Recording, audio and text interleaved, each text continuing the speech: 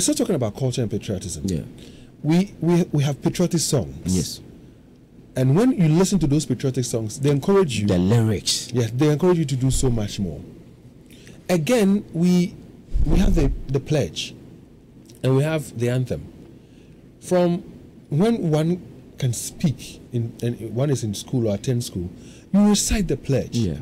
How how come when we grow we don't live what the pledge says? Yes. How come when we grow we don't live what the anthem says? Because things that you are introducing when you're young should stay with you when you grow. So how come we recited them, sang them, but when we we, we grew, we have neglected them? Yes, David, there is a difference between seeing and watching. You can see something by your mind. Watching comes from the mind, and seeing is from the eye. Hmm. You can sing something, you can do something, hmm. but your mind is not up to that thing. And if you don't have the mind following that thing, you are doing a 90 work. Hmm. You just watch it and see it. Recently, I did something about children's health Okay. you know, in basic schools now we say children have kidney and all those things. Hmm. And I compared it to previously our mothers, our fathers, and then probably when we were young.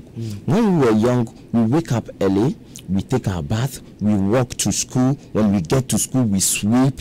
After sweeping, we clean our rooms, and in fact, we engage in activities, mm. games, traditional games, mm. and torture and those things that were making us active. Now, most of these things are gone. Mm. The child is in a bus to school, no exercise. He gets into school. Some schools, the children don't even clean. If they have cleaners who do that, Sure. the child sits down. There's no mm, time for break exercise. There's nothing like that. The child eats junk foods mm. that are mostly not Ghanaian food mm. they are mostly not Ghanaian food. So the Ghanaian environment in the child is taking something foreign that is not used to that child. But we want to we want to copy everything and, and, and we want to be more European even than the Europeans themselves. Yes.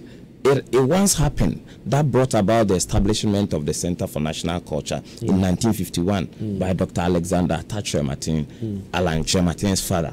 He realized that the people who were living in the Gold Coast then were becoming more British than the British. Hmm. They want to smoke the cigar. Hmm. He wants to give, bring out the accent. He wants to do everything like the British. Hmm. And he realized, no, if we don't establish something as a repository for our culture, for future, we are doomed. Because the culture is what we need as a manual mm. to develop. Dave, can a fish dwell more on a tree than the bird? They cannot even climb the tree. You can't Fly onto the tree, let alone be there. So how can the Ghanaian with your culture want to be like an American? So, so another question to our listeners out there, you know,